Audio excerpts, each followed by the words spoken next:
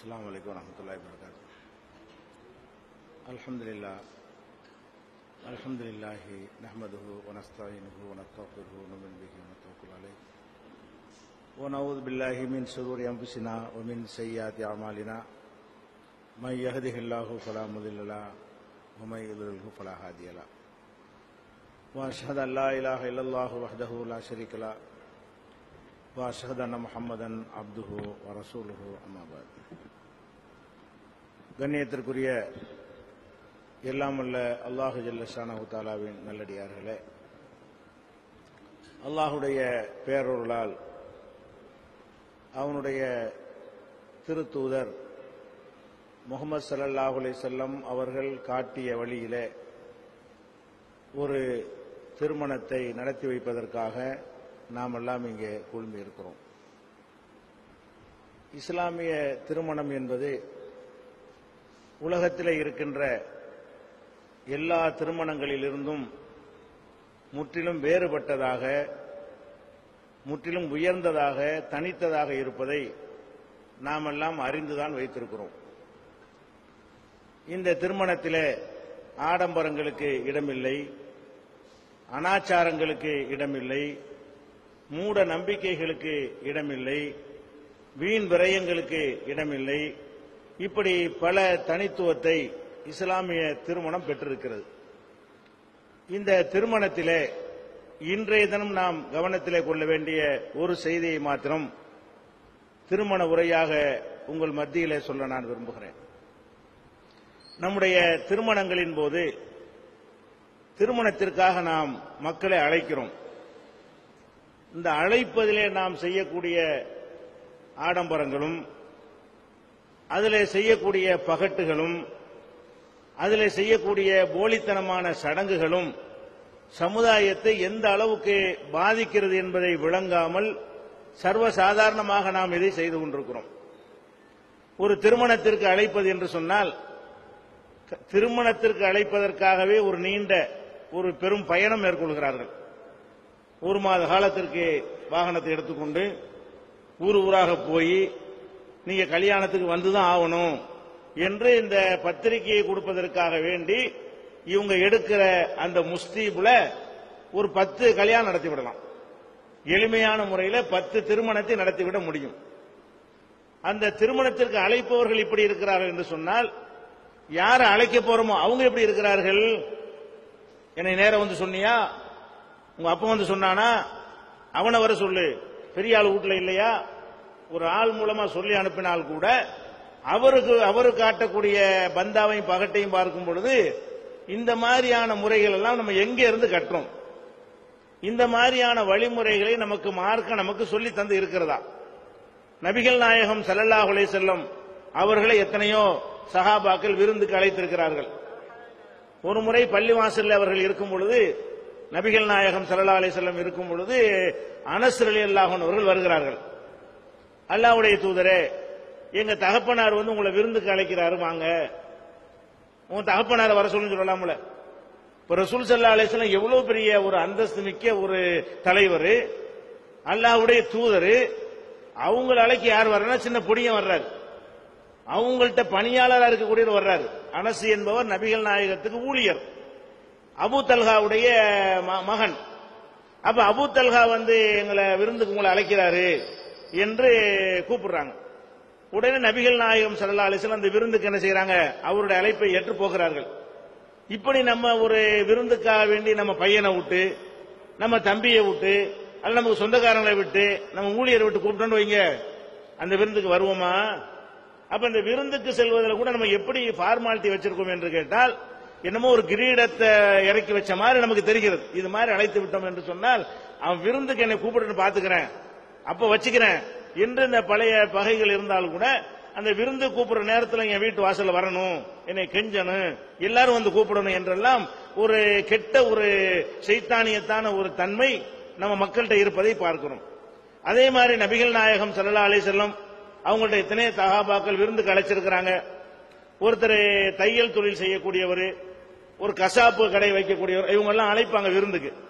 அழைக்கும் போது எப்படி அழைப்பாங்க? அல்லாவுடைய தூதரே நீங்க விருந்துக்கு வாங்க.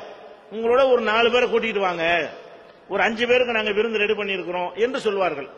நபிகள் நாயகம் சல்லா அலைஹி அவங்க ஒரு நாலு பேர்னா நாலு பேர் அழைத்து கொண்டு போவார்கள். இந்த நாலு பேரும் என்னை நேரம் கூப்பிட்டானா? என்னை வந்து சொன்னானா? என்று அவங்க கேட்டதே இல்லை. அஞ்சு பேருக்கு முகப்பத்தா விருந்து கொடுக்கறாங்க. இது சொல்வதற்குன்னு ஒரு ஃபார்மாலிட்டி தேவையா? நேரடியா சொன்னா தான் உண்டு உண்டு அப்படியே நம்ம எடுத்துக்கொள்ள வேண்டும்.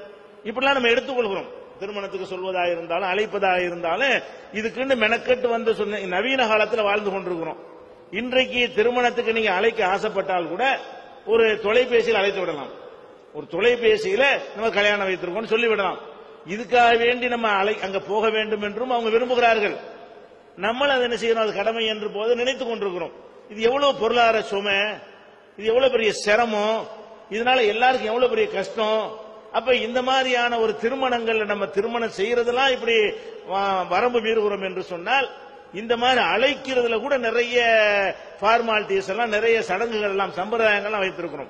அப்ப இஸ்லாம் சொல்லக்கூடிய அழகான சம்பிரதாயம் நமக்கு இருக்கிறது. நபிகள் நாயகம் ஸல்லல்லாஹு அலைஹி செல்லம் அவர்கள் அவங்க ஒரு விருந்துக்கு ஒருத்தர் அழைக்கிறார். விருந்துக்கு போறாங்க. அஞ்சு பேரை கூப்பிட்டுருக்காங்க அஞ்சு பேர் போறாங்க. கூட ஒரு ஆள் சேர்ந்துக்கிட்டு வர்றாரு. அவரோட சேர்ந்து விருந்துக்கு போறோம் நம்மளும் சேர்ந்துக்கிடுவோம் அப்ப வாசல் வரைக்கும் போறாங்க நமக்கு அஞ்சு பேரை தானே கூப்பிட்டு வர சொன்னாங்க. ஆறாவது ஒரு ஆள் நிக்கிறாரு. என்று வீட்டுக்காரர் என்ன செய்யறாங்க இந்த தாட்சணிய ஃபார்மேட்லாம் கிடையாது.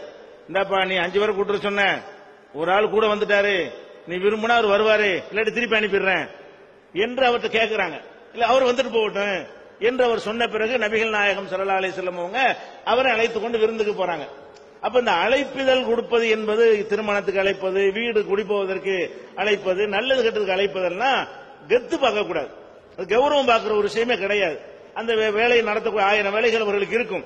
நம்ம அதெல்லாம் பார்க்கிறோம். ஒரு சின்ன ஒரு விஷயமா இருந்தாலும் அந்த சம்பந்தப்பட்டவர் நேரம் வரணும் அவரே மனக்கட்டு வரணும் எவ்வளவு தொலைவில் இருந்தாலும் வரணும் எவ்வளவு செலவழிச்சுக்கிட்டு வந்தாலும் வரணும் எவ்வளவு கஷ்டப்பட்டாலும் வரணும். அவன் வந்து என்கிட்ட சொல்லணும் என்கிற மாதிரியான ஒரு தன்மை இந்த திருமணத்தை ஆடம்பரமாக ஆக்குவதில் ஒரு முக்கிய பங்கு வகிக்கிறது. இந்த மாதிரியான சடங்குகள்லாம் நம்மள்ட்ட ஒழிய வேண்டும். திருமணத்திற்கு என்று நீங்கள் குறைந்த அளவுக்கு அழைத்தால் போதும். துவா செய்தால் போதும். மௌத்துக்கு அழைக்கிறது கூட இப்படித்தான் இருக்குது. மரணத்துக்கு போ- கல்யாணத்துக்கு போறது எடுத்துக்கொள்வோம். திருமணம் என்று எடுத்துக்கொண்டோமே ஆனால் எந்த திருமணமா இருந்தாலும் எவ்வளவு தொலைவில் இருந்தாலும் மெனக்கெட்டு வருகிற காட்சி நம்ம பார்க்கணும். ஒரு கடையில் சம்பளத்துக்கு இருக்கான் ஒருத்தர் ஐயாயிரம் ரூபாய் சம்பளம் வாங்குறான். அவன் குடும்பத்துல ஊர்ல என்ன தொண்டில கல்யாணம்னு வச்சுக்கிறீங்களேன் சென்னையில அவன் ஒரு கடையில சம்பள ஊதியத்துக்கு வேலை பார்க்கறான். அப்ப நாலு கல்யாணம் வந்துச்சுன்னு வைங்க அந்த மாசம். நாலு தடவை வந்தான்னு சொன்னா அவன் சம்பளம் முடிஞ்சு போயிடும் ஐயாயிரம் ரூபாய் சம்பளத்துக்கு அந்த கல்யாணத்துக்காக வேண்டும் மெனக்கெட்டு வந்தானே ஆனால் அவனுடைய அந்த சம்பளம் அந்த நாலு திருமணத்தில் கலந்து கொண்டதோட முடிந்து விடுகிறது. ஆனா ஏன் வர்றான்னு கேட்டா கோகாட்டி பஞ்சாயத்து. எப்படி நம்ம பழைய வச்சிருக்கிறோம்? கல்யாணத்துக்கு ஒருத்தன் வரலன்னு சொன்னா பெரிய விவகாரம். கல்யாணத்துக்கு வரணும் ஊர்ல இருந்துட்டு வராட்டி சொல்லலாம் பக்கத்து வீட்டுல இருந்து வராட்டி சொல்லலாம் வெளியூர்ல இருந்து வர்றான் என்பது அதுல பொருளாதாரம் சம்பந்தப்படுதா இல்லையா? அது கவனிக்கணுமா இல்லையா? உள்ளூர்ல இருந்துட்டு வரலன்னா ஒரு கெட்ட சொன்னா அவன் வந்து என் கல்யாணத்துக்கு வரலன்னு சொன்னா நான் விவகாரம் ஆக்குவேன் அப்படின்னு குடும்பத்தாரெல்லாம் நினைக்கிற காரணத்தினால உறவு போயிடக்கூடாது நல்லுறவு கெட்டுவிடக்கூடாது என்பதற்காக வேண்டி ஐயாயிரம் ரூபாய் சம்பளக்காரன் நாலு தடவை கல்யாணத்துக்கு வந்துட்டு போய் ஒட்டுமொத்த சம்பளத்தையும் கல்யாணத்துக்கு போவதில் அழித்து விடுகிறான். இது தேவையா? அவன் அவனை அவனை யோசிக்கணும் நம்மளும் யோசிக்கணும். தூரத்தில் இருக்கக்கூடியவங்க இருந்தாங்கன்னா நீங்க ஒரு முன்னா பட்டா வாங்க இல்லாட்டி வாசிங்க. என்று நம்ம சொல்லணும் அதை ரெண்டு பேரும் தப்பா எடுத்துக்கொள்ள கூடாது தூரந்தொழில் இருப்பார்களே ஆனால் நீங்க துவா செய்யுங்க உங்களுக்கு விருப்பம் இருந்தால் வாய்ப்பு இருந்தால் வந்து கலந்து கொள்ளுங்கள். இல்லைன்னா மணமக்களுக்காக பிரார்த்தனை செய்யுங்கள் என்று நாமளும் சொல்ல வேண்டும். அவங்களும் அதை புரிந்து கொள்ள வேண்டும்ங்கிற ஒரு நிலை வந்தால் எவ்வளவு நல்லா இருக்கும். இந்த மாதிரி கல்யாணத்துக்கு போய் அழிந்து போனவர்கள் எவ்வளவு பொருளாதார வீணா போனவர்கள் இருக்கிறோம்.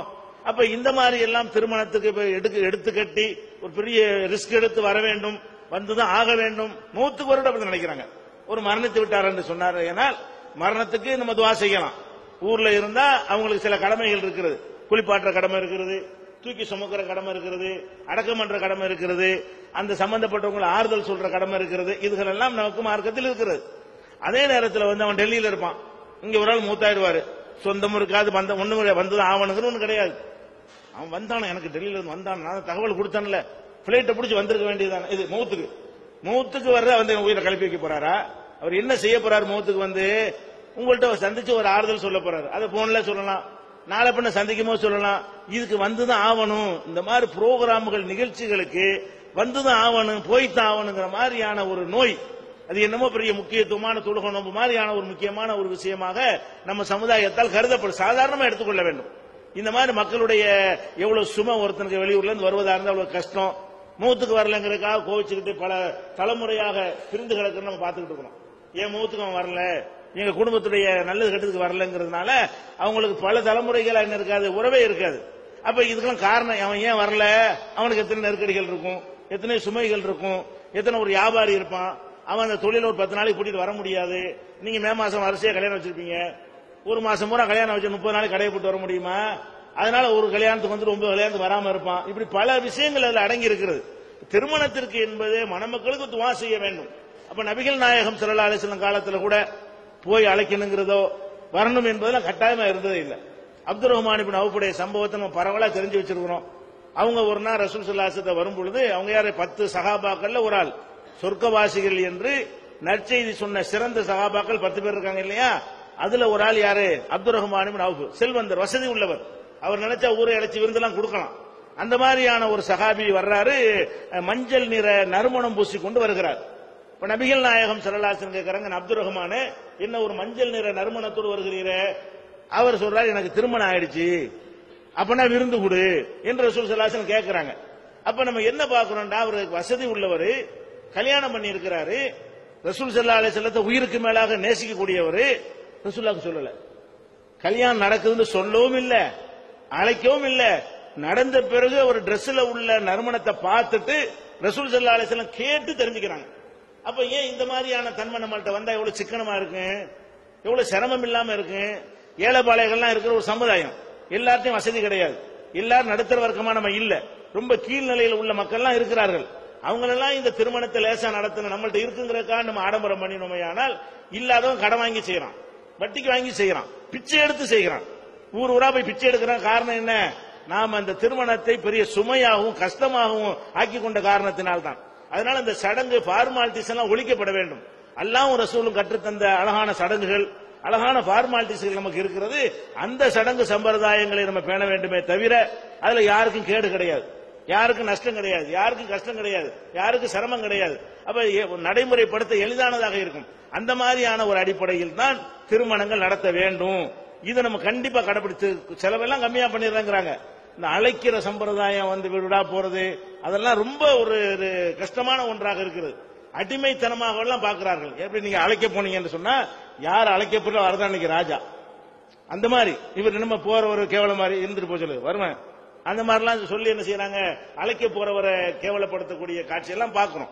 இதெல்லாம் ரெண்டு தரப்புலையும் இருக்கக்கூடிய இந்த நோய் இது கர்வம் செய்தான்ட்டு இருக்கக்கூடிய தன்மை இது. நான் தான் பெரியவன் என்னை இப்படிதான் அழைக்கணும் என்று நினைக்கக்கூடிய இந்த தன்மைகள் ஒழிய வேண்டும். திருமணத்தை வந்து எளிமையான முறையில் சிம்பிளான முறையில் பெரிய பார்வர்ம இருபது ஆண்டு முப்பது ஆண்டு பட்ஜெட் போடாத வகையில் அதை நடத்த வேண்டும். அந்த வகையில் தான் இந்த திருமணம் நடக்க நாங்கள் கூட திருமணத்துக்கு யாரும் அழைக்கவும் கிடையாது. சொந்தக்காரங்க போன்ல சொன்னோம். திருமணத்தை கூப்பிடுறக்கா எந்த ஒரு ஊருக்கும் போகவும் கிடையாது.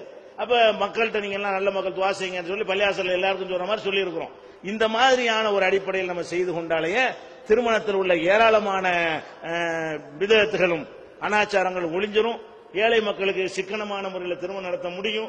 மற்ற சமுதாய மக்களும் பார்த்து ஆச்சரியப்படக்கூடியவர்கள் இது ஒரு தாவாவாக ஒரு பிரச்சாரமாக இது அமையும் என்று கூறி மணமக்களை வாழ்த்துவதற்காக நபிகள் நாயகம் சல்லல்லாஹுலே செல்லும் செல்லம் அவர்கள் ஒரு அழகான ஒரு துவாவை ஒரு பிரார்த்தனை கற்றுத் தந்திருக்கிறார்கள். திருமணம் முடிந்த பிறகு நீங்கள் அந்த பிரார்த்தனையை மணமக்களுக்கு செய்தாலே போதும். அந்த பிரார்த்தனை என்ன? பாரக்கல்லாஹு லக்க. அது மட்டும் கூட செய்யலாம். அல்லது பாரக்கல்லாஹு லக்க ஓ பாரக்க அலைக்க ஓ ஜமா பைனகுமா ஃபி ஹைர் என்றும் சொல்லலாம். நபி ஸல்லல்லாஹு அலைஹி அவர்கள் இந்த ரெண்டு விதமாகவும் சொல்லி தந்திருக்கிறார் இதுக்கு என்ன அர்த்தம்? உங்களுக்கு அல்லாஹ் பரக்கத்து செய்யட்டும். ஒட்டுமொத்தமா இதுக்கு என்ன அர்த்தம் என்று கேட்டால் கல்யாணம் ஆனவங்களுக்கு நம்ம கேட்க வேண்டிய துவா பறக்கத்து தான் பறக்கத்துனா என்ன?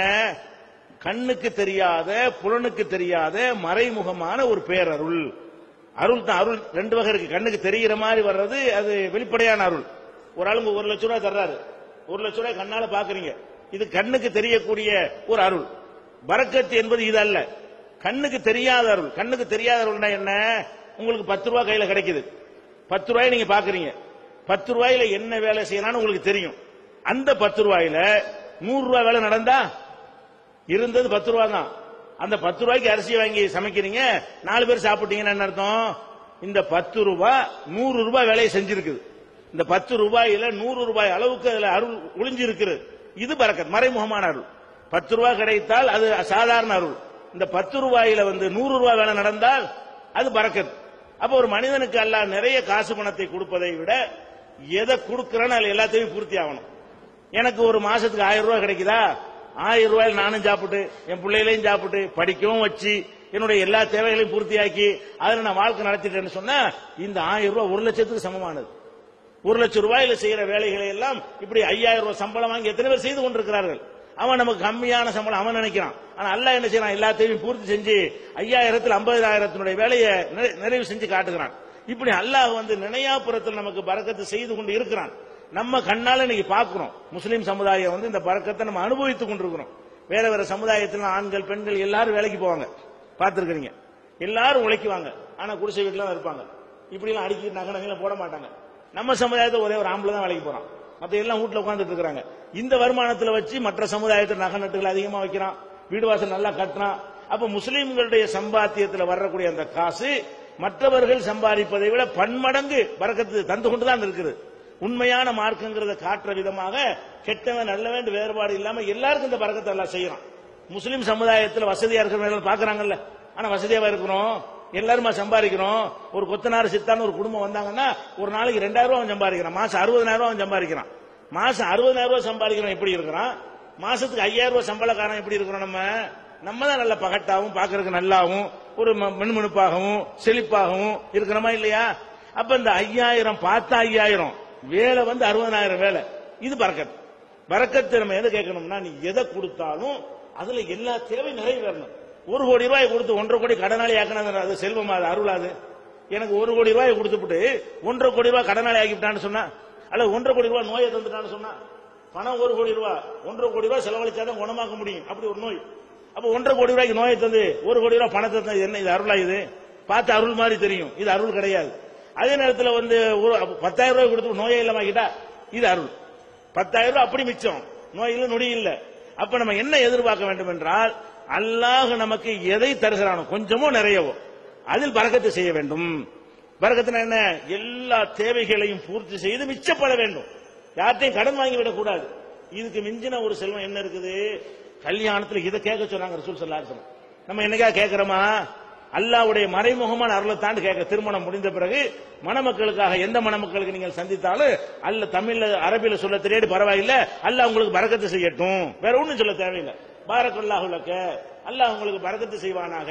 அப்படின்னா உங்களுடைய எல்லா தேவைகளும் அந்த கணவன் மனைவி சந்தோஷமா இருப்பார்கள். எத்தனை வீடுகள் நீங்க அரண்மனை மாதிரி வீடு வச்சிருப்பாங்க? ரெண்டு பேர் தான் குடியிருப்பாங்க. சண்டை வரும் பத்தாது. ஏன் எடுத்து ஏன்டா வந்து உன் இவ்வளவு பெரிய வீடு இருக்குது. இருக்கிற ரெண்டு பேரு ரெண்டு பேருக்கு அது பத்தல பாருங்களேன். குடிசையில் இருப்பாங்க இருபது கோடி படுத்து கிடப்பாங்க. ஒருத்தன் தொடையில ஒருத்தன் தலையை வச்சிருப்பான். அது போதுமானதா இருக்கு அவனுக்கு.